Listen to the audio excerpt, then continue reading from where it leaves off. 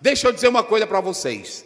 Essa serpente aqui, aí talvez você diga assim, pastor Ziel, mas é, é, não é muito exagerado. É por isso que eu disse, esse, esses sinais, ah, como é que eu disse aí? Esses sinais acompanharão? Os que crerem. Vai lá, esses sinais acompanharão? Os que crerem. Agora, para cá, bota, bota bem aqui, bota bem aqui. Se, se eu fiquei assim, olha, é o seguinte, eu estava estudando no, no seminário e vejam bem, eu também estive analisando os textos originais e essa parte, eu acredito mais no que diz o sinaítico e o vaticano, porque, veja bem, é, é porque tu não quer poder de Deus, é porque tu não quer entrar no mistério. Eu vou te mostrar na Bíblia como isso é capaz. Vamos lá para Êxodo, capítulo 4, verso 2, 3, vai. É, e o Senhor disse-lhe: O que é isso na tua mão? O que é isso na tua mão? E ele disse: Uma vara. Uma vara. E ele disse: Lança-a na Peraí, terra. peraí, peraí. Moisés era formado, Atos 7, 22, era formado em quê? Toda a ciência do Egito. Em toda a ciência do. Do Egito. Como foi que Deus confrontou Moisés? Um sobrenatural. Fala, fala. Um sobrenatural, um milagre. Deus confrontou Moisés para botar Moisés. Moisés, o que que tu acha disso aqui? Tu é formado em toda a ciência do Egito. Eu vou te dar inteligência. Foi assim? Deus botou foi a inteligência dele por terra naquela hora. E ele tem que acreditar no sobrenato, sobrenatural. O que que tu tem na mão? Uma vara. E aí o que que ele fez? Lança-a na terra. Ele Ei. lançou na terra e tornou-se em serpente, Aí, cobra. ela se tornou em quê? Em cobra. Em uma cobra. Tem uns que dizem, não, ela se tornou um crocodilo, seja lá o que for, uma vara. Tu já pensou, tu um pastor catedrático, hein? Me diz aí, tu um pastor catedrático. Aí de repente Deus diz: o que, é que tu tem na mão, rapaz? Rapaz, isso aqui é para crente. Isso aqui é para quem acredita na Bíblia. Esses sinais acompanharão só quem crê. Porque, rapaz, para um cabo formado em toda a ciência do, ciência do Egito, para ele botar um- um- uma, Logicamente não teria como ele explicar, né, pastor? não tem nunca, meu filho. Pegar um pau, jogar no chão, aí Deus pega agora. E aí quando dá fé, ele joga e vira o quê? Uma cobra. Ou um crocodilo, não é mais feio para o crocodilo, não é assim? É pior. Aí pronto. E Deus disse assim para ele: Moisés, pega onde? Pega na cauda. Ou seja, pegarão em Serpente. Em serpente. Só que eu vou te dar uma novidade bem aqui. Essa serpente aí não tem nada a ver com cobra, não tem nada a ver com hipnotismo, nem com, com encantamento. Essa cobra aqui, eu vou mostrar quem é a cobra. Vai bem aí, vou mostrar. É, é Lucas, Lucas. Primeiro eu já mostrei que eu- a base bíblica Moisés pegou na cobra ou não? Então pronto. Mas vamos mostrar outra vez. Vai lá. Lucas 10, 19. Se não for 10, 19, é 11, 19. Eu acho que é 11, 19. Vamos lá. Vai.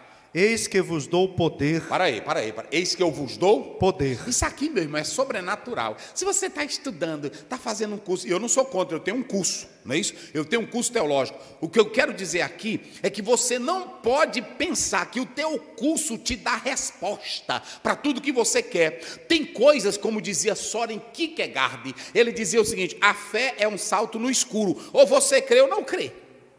A Bíblia diz em Gênesis 15, 6, né? Creu Abraão no. Então pronto, a questão ou tu crê ou tu não crê. Não é assim? Pastor que não crê, professor que não crê, vá procurar outra coisa para fazer. Porque a igreja é para quem tem fé. Tem fé. Pregar evangelho é para quem tem fé. Expulsar demônio é para quem tem fé. É isso que eu vos dou? Poder. Para o quê? Eis que vos dou poder para pisar serpentes. Epa, para aí agora. Eis que eu vos dou poder para pisar o quê? Serpentes.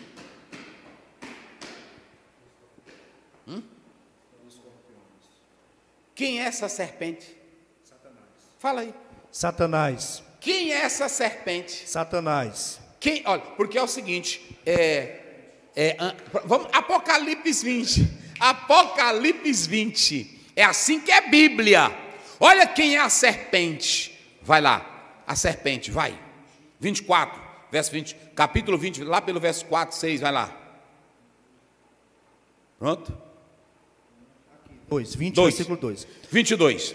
Ele prendeu o dragão, Para aí, bem devagarzinho. Prendeu o, dra- o o dragão, dragão, a antiga serpente, a antiga serpente. que é o diabo Pa- Quem é a serpente? O diabo. Quem é a serpente? Diabo. E Jesus diz: Eis que eu vos dou poder. Para quê? Vai, vai, vai, vai. Lê aí. Vai, como é que diz? 19. Não, é, é lá, é lá mesmo. O diabo, a antiga Antiga serpente. serpente. É para o irmão entender. A serpente de Marcos, eis que eu vos dou poder. Para ele prendeu o dragão, a antiga serpente, que é o diabo e Satanás, e amarrou por mil anos. Pronto. Então, a serpente de Marcos, quem é a serpente de Marcos? É Satanás. Eis que eu vos dou, ele diz, esses sinais acompanharão os que Crerem. Em meu nome expulsarão Demônios. demônios Falarão novas falarão línguas, novas línguas. pisarão nas serpentes, Vai. pegarão nas serpentes. Pegarão nas Serpentes. Nas serpentes. Prestem bem atenção. Essa serpente aí é símbolo da maldade, do mal de Satanás. Como é que diz? Como um raio cair do céu, né? Isso é verdade. Mesmo. A, a, a mesma coisa. Então observem bem que quando aí você diz assim, pegarão em serpente, não é para manipular, é que o crente ele tem poder para expulsar os que estão cheios de demônio, que são usados pela serpente. E quem é a serpente? Satanás. Satanás. O espírito da moça lá de Paulo, né, pastor? Ah, da- da- de Pitom, não é isso? De Pitom de Atos 16. É ali que é expulsar serpente, pegar em serpente. Pode acontecer, Atos 28, a Bíblia diz que Paulo estava na ilha de Malta e foi pegar num graveto, ajuntando, e a serpente picou. Paulo não pegou na serpente. A serpente picou ele, né? Aí vamos lá. 28 de Atos, chegando na ilha de Malta. Vamos lá? Isso. E havendo Paulo ajuntado uma quantidade de vides Isso. e pondo-as no fogo, uma víbora, fugindo do calor, lhe Olha. acometeu a mão. Tá vendo? Uma víbora fugindo do Calor. Ela não foi para picar Paulo, ela estava na, na sua autodefesa. E aí ela pica Paulo. Quando ela pica Paulo, aí todos esperavam que ele morresse. Mas a Bíblia diz: não lhe fará dano algum. Pronto, pegarão em serpentes. Vai. Isso aqui tudo é sinal. Vai. Pegarão em serpentes. Como é que diz mais? Pegarão na serpente, Isso. escorpos, e beberão, se beberem alguma coisa E mortífera, se. A Bíblia não está dizendo que é para beber. Se se se beberem. Não é para você andar pegando um copo de veneno. Eu vou saber se Jesus tem poder agora. Bebe que tu morre, bebe bonito. Bebe que tu desce pro caixão já já. É, bebe para tu ver. Agora, digamos, uma pessoa ele ele tem raiva de crente. Isso aconteceu vários testemunhos de missionários.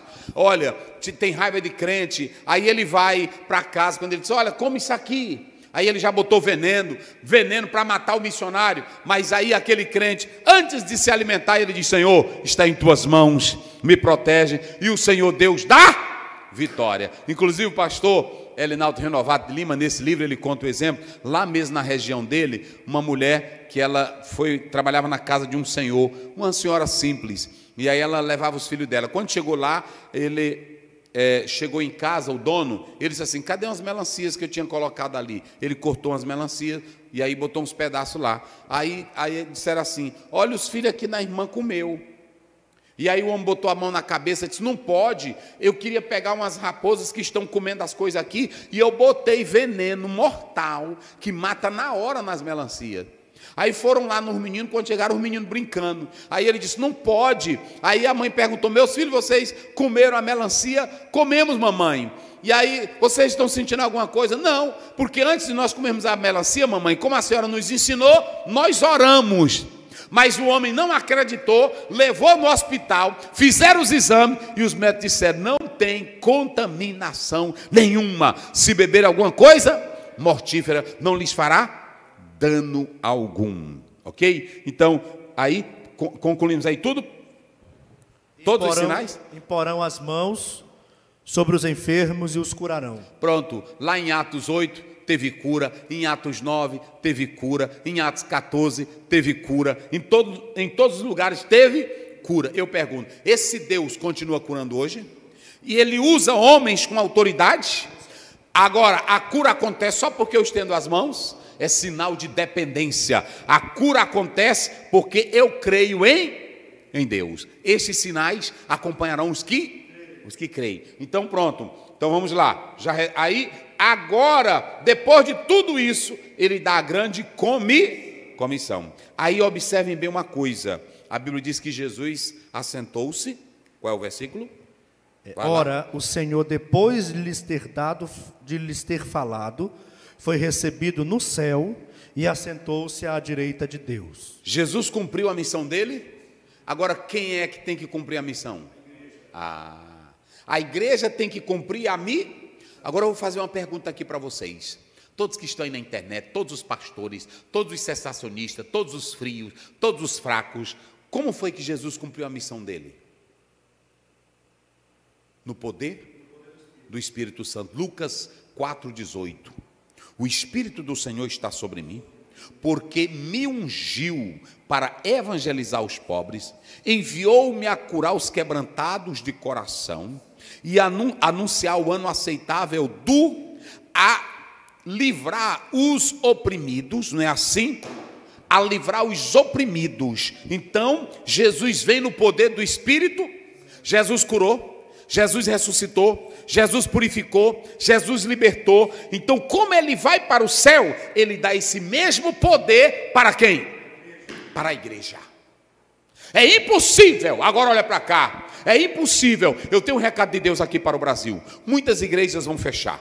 Por que, que vão fechar? O mundo, a incredulidade está aumentando, a imoralidade está aumentando, o pecado está aumentando, tudo está aumentando. E a maioria dos pastores no Brasil, alguns estão dizendo que a Bíblia não é inspirada, que não precisa, é pregador da televisão que deveria estar pregando o Evangelho de Cristo, está inventando histórias. Muitas igrejas na Europa, na América, começaram a fechar por causa disso. Agora eu vou dizer uma coisa: se tu queres ver o povo se voltar para o Evangelho, se tu queres ver o povo se voltar para Cristo, deixa o Evangelho impactar as tuas vidas, a tua vida, e viva cheio de sinais e mara e maravilhas.